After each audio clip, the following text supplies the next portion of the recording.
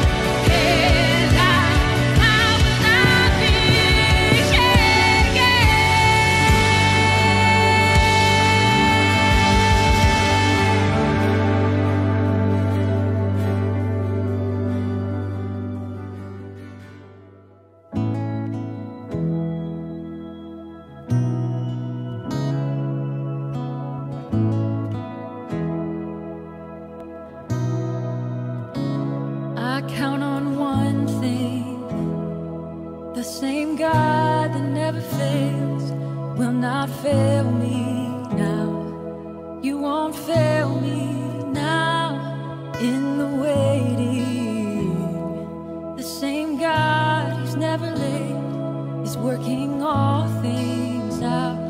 You're working all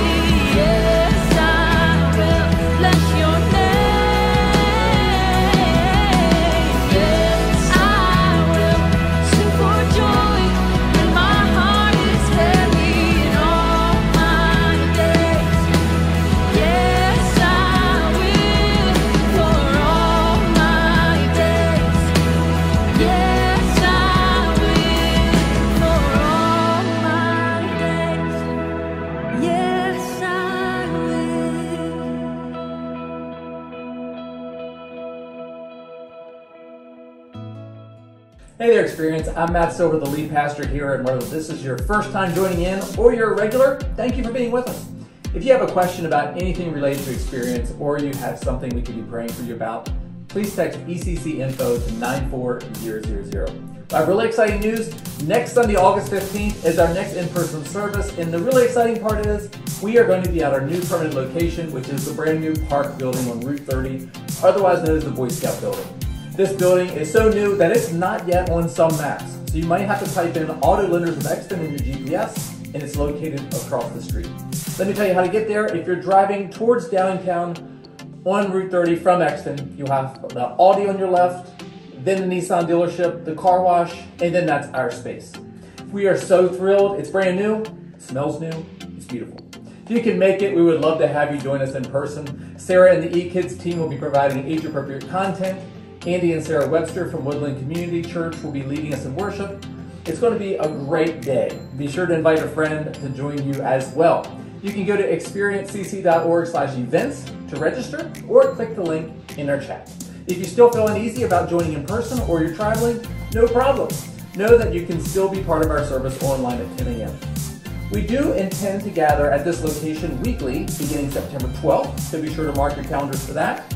But we're also going to continue to offer weekly digital services with one change. We will be discontinuing hosting the service on Facebook. You'll be able to access the service by going to experiencecc.org slash live. And what this does is it allows us to use our website platform, and it's a lot more engaging, and we're excited to have our online community all at one place. If you're watching on Facebook this week, know that next week we'll have a link posted on Facebook to direct you towards our website. And finally, the mission of Experience is to show others the love of God, and this is made possible in part by the generous partnering of our community. If you would like to join us on this mission, you can go do so safely by going to givetoexperience.com. Well, today our friend Nathan McDade will be bringing the message. Let's lean in as we continue our series, Raw, Life Unfiltered. Well, hello, Experience Christian Church. It is good to be with you again. And uh, I'm just honored, as always, to join with what God is doing in and through this community. And I've begun to really long for the day when I'll get to come and meet you all and actually be with you face to face. We're in this new series called Raw Life Unfiltered, which uh, began last week.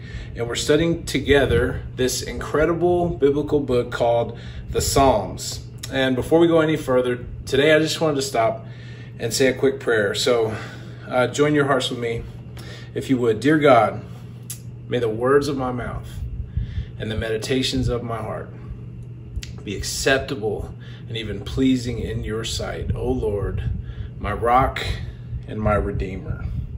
Amen. I'm coming to you, as always, from Indiana, where I live now. And part of what I do these days is uh, some work as a hospital chaplain. And I serve in the Indianapolis area and kind of just north of the city in several different towns. And one of those towns is Kokomo. Now, when you hear the word Kokomo, um, maybe you've heard of Kokomo, Indiana, but I bet that way more of you, when you hear the word Kokomo, you think of what? You think of the hit song by the Beach Boys, right? You think of Aruba, Jamaica, ooh, I want to take you. Bermuda, Bahama, come on, pretty mama. Key Largo, Montego, baby, why don't we go down to Kokomo? And I bet that many of you, like me, have always assumed that off the Florida Keys, there's a place called Kokomo. That's where you want to go to get away from it all. And that, uh, in this place called Kokomo, if you were able to get away from it all and go there, uh, you would see things like bodies in the sand, tropical drinks melting in people's hands, people falling in love to the rhythm of a steel drum band, people who got there fast, but now they're taking it slow. Um, well, guess what? That place does not exist. There is no such actual place down near the Florida Keys and all those other tropical locations mentioned that is called Kokomo. It is completely made up. Now, some people have cleverly gone and named some different beaches, different resorts, so forth, Kokomo, since the song came out. But it's actually not a real place. Uh, I did a Google, Google image search, and the first 5.5 rows of pictures, the first 32 images before you actually got to a picture of Kokomo, Indiana, were of tropical locations for this Kokomo that is not even a real place. But Kokomo, Indiana is a real place. It was incorporated in 1855. It's about an hour from my house. There are no palm trees, and one doesn't really get there fast. Uh, but in the real Kokomo, there are real people. They're living and working and playing, and sometimes going to the hospital.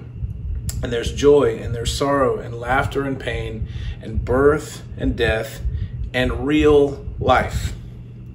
So I learned this fact just this past week that that the Kokomo from the song is just a made up place, and it made me laugh uh, that there is actually no tropical, sexy Kokomo island paradise, right? Instead, there's only, with all due respect, Kokomo, Indiana. And I thought uh, immediately how this is a great metaphor for talking about the Psalms.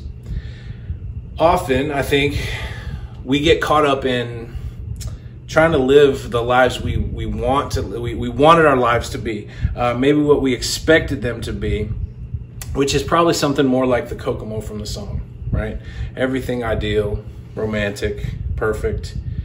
But then we quickly find ourselves disappointed depressed derailed disillusioned by the crushing weight of reality by the struggles of our real lives. And we lack, a lot of times, the spiritual foundation and the tools to deal with this, to deal with our actual lives, which are difficult and complicated and messy, and which have turned out to be a lot more like perhaps a town in Indiana than some kind of tropical island paradise.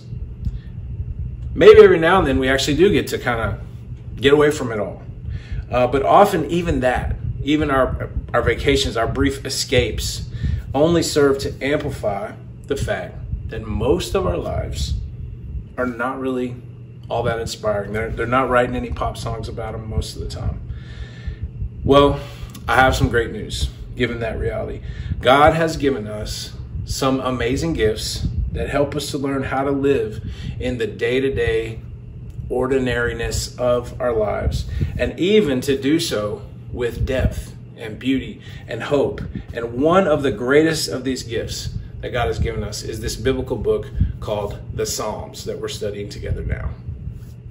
If you missed last week, please go back and watch Matt's message for a great background and overview of the Psalms. The Psalms are found right in the middle of the Bible. It's a collection of 150 poems and songs of the people of Israel. And uh, then it kind of became the prayer book of the church uh, since its inception, actually, since even before its inception. Think about this the Psalms were the prayer book of Jesus when he was growing up. The Psalms are perhaps the main way that Jesus himself learned to pray.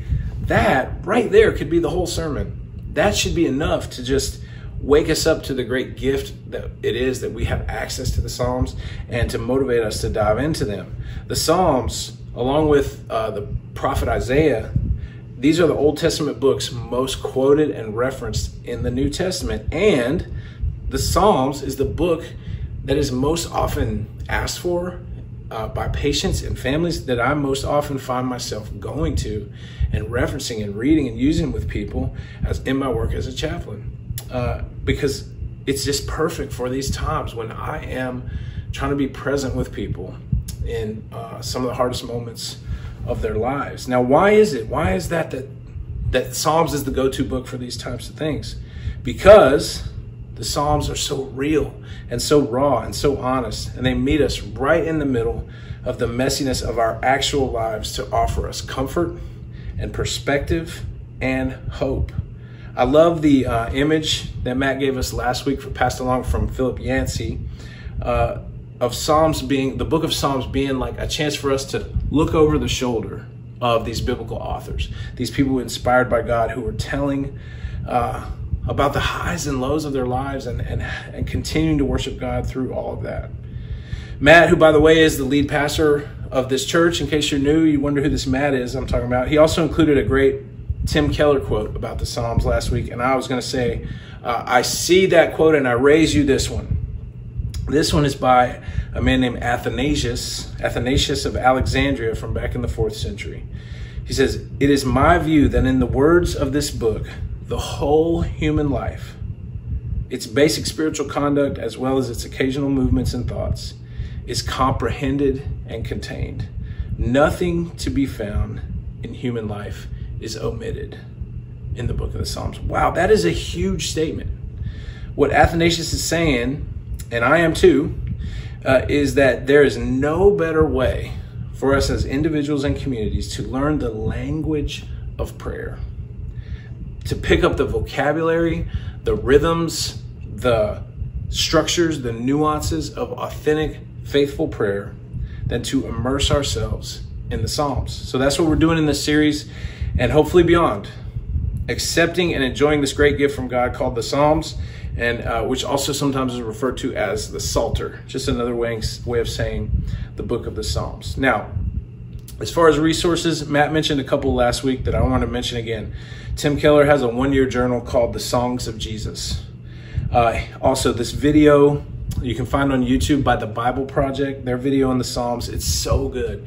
If you have uh, eight minutes, I think it's less than nine minutes long.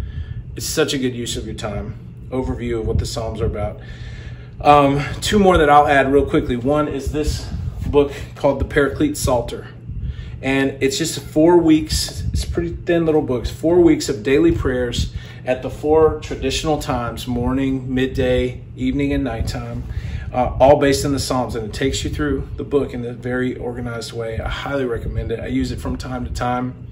Um, and really love it. And then I also want to recommend the Psalms in music form. In my opinion, most of the best worship songs are ones that just take most or all of their lyrics straight from the Bible.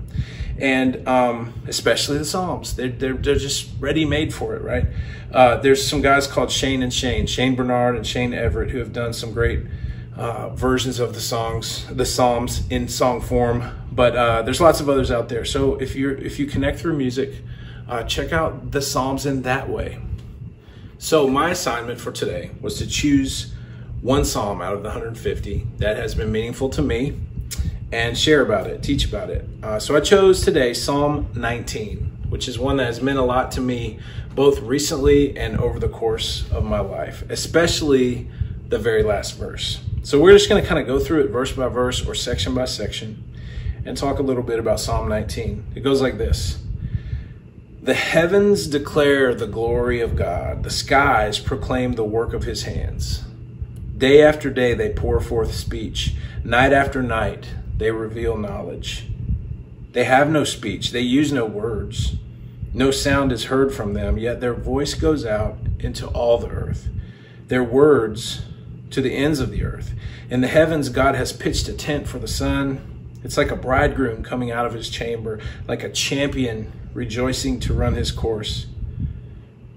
The Olympics are going on right now. I love that line, how it conjures up some images. It rises at one end of the heavens and makes its circuit to the other. Nothing is deprived of its warmth.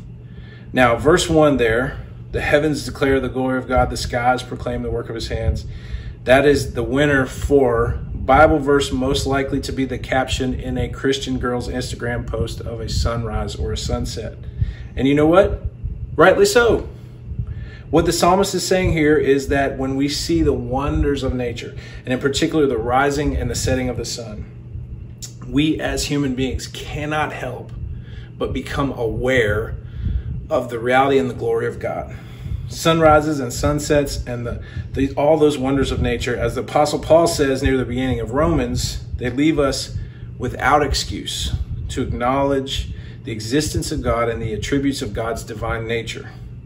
The psalmist says that without ever saying a word, these things, the, these beautiful, majestic things in our world, speak volumes to us about God. On to the next section, verse 7 and following. The psalmist goes a little further, says, The law of the Lord is perfect, refreshing the soul. The statutes of the Lord are trustworthy, making wise the simple. The precepts of the Lord are right, giving joy to the heart. The commands of the Lord are radiant, giving light to the eyes. The fear of the Lord is pure, enduring forever. The decrees of the Lord are firm, and all of them are righteous. They are more precious than gold, than much pure gold. They are sweeter than honey, than honey from the honeycomb. Okay, I want to pause right here. There's actually one more verse in what we call this section, second section. But uh, right here, I want to say that these words, all these words, the law, the statutes, the precepts, the commands, the decrees, uh, in other translations, it says things like the rules of God, the testimony. All of this is pointing toward something called Torah. It's a Hebrew word. Uh, maybe the best translation from what I've studied would just be the instructions of God. Uh, and it has multiple levels of meaning here. Uh, like kind of Torah with a small t would be like, in a general sense, all of the instructions and the teachings of God. And in a specific sense, let's say Torah with a capital T or Torah, uh, that would be the first five books of the Bible right? The books of Moses, the foundation of uh, the Hebrew Jewish faith, and then, therefore, of the Christian faith, the first, the bedrock, the baseline teachings on which it all builds, uh, leading all the way up to Christ and beyond. Um, so, the psalmist is saying these things, these teachings of God, they're things you can lean on, they're things you can count on They're things you can build your life on. And as we read, they'll give you, if you follow them, things like refreshment, wisdom, joy, endurance.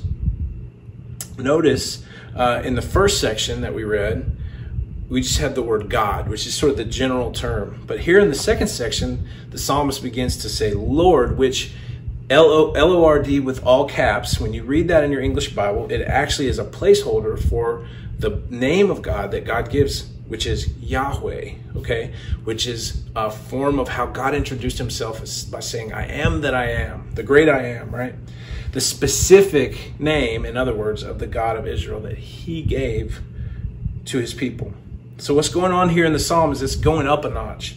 Not only do the wonders of nature point us clearly to our loving, powerful Creator God, but what's more, that same God has spoken in history, introduced God's self by name, Yahweh, our Lord, the God of Abraham, Isaac, and Jacob, the God who walked among us uh, in, and as Jesus Christ, the God who continues to move among us in the form of the Holy Spirit, that mysterious Trinity that we worship and follow. So, we, in other words, we no longer just have to discern God's character from the wonders of nature. We now also have all this specific info, stories, events, testimony in actual history about God's character and intentions, how God rolls, what God has done, and where it's all heading. And again, this is wonderful news for us. And then that last verse in this section, verse 11, says, By them your servant is warned, them being all these instructions, this Torah, and in keeping them there is great reward. Other translations at the beginning of that verse have a word like moreover, in addition to what we just heard. You're, you know, there's more. Uh, the message translation says it this way there's more. God's word warns us of danger, and directs us to hidden treasure. The, the psalm here is starting to kind of sound like a late night TV infomercial. Uh, the offer keeps getting better, but wait, there's more. Not only are the laws and statutes and instructions of God a blessing to us, but what's more, our loving God then uses these to care for us. And then, kind of from both ends, He warns us of danger and He guides us and leads us to treasure. God gives us, if we will walk in His ways, he gives us protection and blessing. And this is an amazing promise and a gift to his people. And now finally we come to the, the last section, the final three verses of this short little psalm. And really these verses are just a simple prayer. Verse 12 says, But who can discern their own errors? Um, this is about acknowledging our, our limitations and our failures, saying, I don't, I don't even know all the things that I, the ways that I've failed. Um, forgive my hidden faults, God. Um, in 13 says, keep your servant also from willful sins. Other translations say things like presumptuous sins. One I read even said from stupid sins. And this is this kind of side note uh, says that there are different kinds of sins. There's sort of the this the goof ups, you know, the innocent mistakes that we make that pull us away from God. But this is talking about more like the keep us, God, from choosing to sin. Keep us, God, from, uh, and it says, may they not rule over me. Keep us from habitual sin. Keep us from addictions uh, that are that are hurtful to us. It says, then I will be blameless, innocent of great transgression. And then we come to this final verse, which has meant so much to me. And I, I bet maybe you've even heard this before It says this the psalmist ends the psalm with this let the words of my mouth and the meditation of my heart be acceptable in your sight o lord yahweh my rock and my redeemer. This is one of the bible verses that i and so many others have returned to countless times throughout the years. This is one of the most useful and widely applicable and evergreen prayers ever spoken or written by anyone. Uh, this is such a simple prayer that you could memorize it today and have access to it for the rest of your life. Lord, God, let the words of my mouth and the meditations of my heart be acceptable and pleasing in your sight. O Lord, my rock and my redeemer. I love that some translations say pleasing. I, like that even better than acceptable as an English word there. So that's my desire. I want to please God with my life. I, think you do too, whether you realize it or not. I think everyone does. Not only the things I say, you know, this prayer is saying, God, the things I think as well.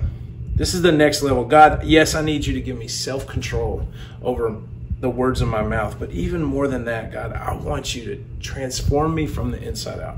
I want you to change my heart. The word heart here in this psalm representing the core of who I am, the, the center of consciousness and where thoughts are formed and emotions are processed. That's what's being talked about here. Um, and you know, if you know anything about Jesus and what he taught, for example, in the Sermon on the Mount, you can hear echoes of this prayer in that kind of teaching. Um, not, not it, it's not only a sin to kill someone; it's a sin to hate someone in your heart. Right? These types of things. And so then this prayer just ends with the words, "Oh Lord," again that personal, specific name, implying relationship. My rock and my redeemer, my rock, something solid, that which does not shift and move, though everything else does in culture, in the world.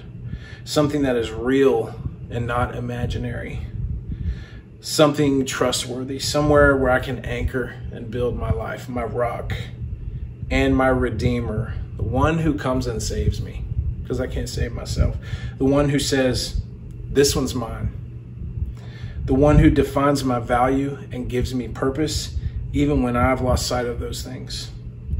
This little prayer, which I timed myself, it takes about eight or nine seconds to say. It's one I have prayed when starting my day. It's one I've prayed when when I see a beautiful woman who's not my wife and I'm tempted to let my mind go places it should not. It's when I say uh, when I see my neighbor who has not treated me well and I'm tempted to let my mouth say things that it should not. It's when I say when I'm overwhelmed as a dad. It's when I say uh, when heading into meetings or conversations I know will be difficult. It's when I say and have said when right in the middle of conversations, things are just suddenly heating up, getting out of control. I've learned to pause, take a drink of water, buy myself those nine seconds, and silently say this prayer. It's one I say when getting ready to lead something or speak publicly or preach a sermon. It's one I say when facing a big decision and the list goes on and on. And guess what? And I just thought of this for the first time um, this go round and studying and thinking about this prayer, I realize there's no reason we can't also pray this prayer over others, over our kids, over their teachers, over our pastors, over our coworkers, over our political leaders. Lord, let the words of his or her mouth and the meditations of his or her heart be acceptable in your sight. And let them know and be or be reminded today or come to know for the first time that you are our only true rock and redeemer as I think about it, I have no doubt that this little prayer has made a huge impact in the, in the direction and the shape of my life, more than I'll probably ever know this side of heaven. And this is just one verse from one of 150 Psalms, which is one of 66 books in the Bible. And I, as I think about that and the power of that, I'm just so grateful. It's such a gift. So, again, don't hear this, don't enter into this series feeling like, oh, I gotta do, I gotta read the Bible. I got just, I hope you'll see it as a gift, as an opportunity to unwrap an amazing gift from our loving God. You know, one of my favorite definitions of prayer, right? What is prayer? Uh, is just this prayer is saying the truest thing you are able to say to God at a given moment. Sometimes that uh, is just a groan, right? But I'm so thankful, and I thank you, O oh God, for the Psalms, which give us words when maybe we didn't have any of our own, which help us to experience and express the whole range of human emotion. Thank you, God, for the Psalms, which unite us with other God lovers and uh, worshipers down through the ages and across the globe. Thank you for the Psalms, which keep us anchored to our rock and which keep our vision focused on our Redeemer. Would you please join your hearts with me as I just offer a closing prayer? Oh God, sometimes we know when and how we have sinned against you, other times we can't even figure out what we're doing right or wrong. Please forgive our hidden faults. Dear God, would you please keep us, keep the people of Experience Christian Church from willful sins. Convict us and give us strength to choose the better way. And when we do stumble and sin, please God, don't let those sins become habits ruling over us. God, our desire, whether we even know it or not, and I do believe it's the desire of every human heart, is to stand blameless and innocent before you, to feel your love and your approval. So, Lord, our prayer today is that the words of our mouths, today, tomorrow, and all days, would be pleasing to you, and that the meditations of our hearts, the direction we point our minds, would also be pleasing to you. Good, clean, holy, helpful words and thoughts, or else silence, God. And we ask all of this with great confidence, knowing that you love us and that you are our solid rock and our Redeemer. We pray all of this in the name of the Father, the Son, and the Holy Spirit. Each week here at Experience, we have the opportunity to take communion together as a church family, to remember the sacrifice Jesus made for us on the cross. When I take communion, I really like to reflect on my past week and the week to come. In what moments did I need some grace this week? And next week, how can I honor the sacrifice Jesus made for us, both in a spiritual sense and in practical ways? So let's take our elements, the bread and the juice, and we'll take communion together. First, we'll take the bread, which represents the body of Christ.